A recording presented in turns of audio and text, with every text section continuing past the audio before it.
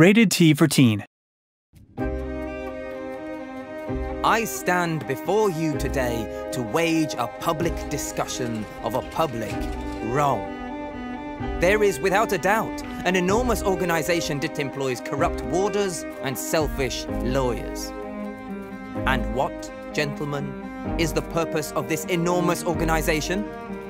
Its purpose is to wage pointless and meaningless prosecutions against innocent people.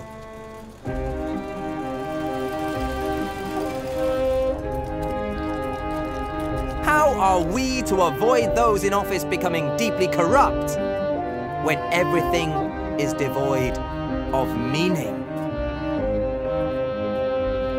That is why innocent people are humiliated in front of crowds rather than being given a proper trial.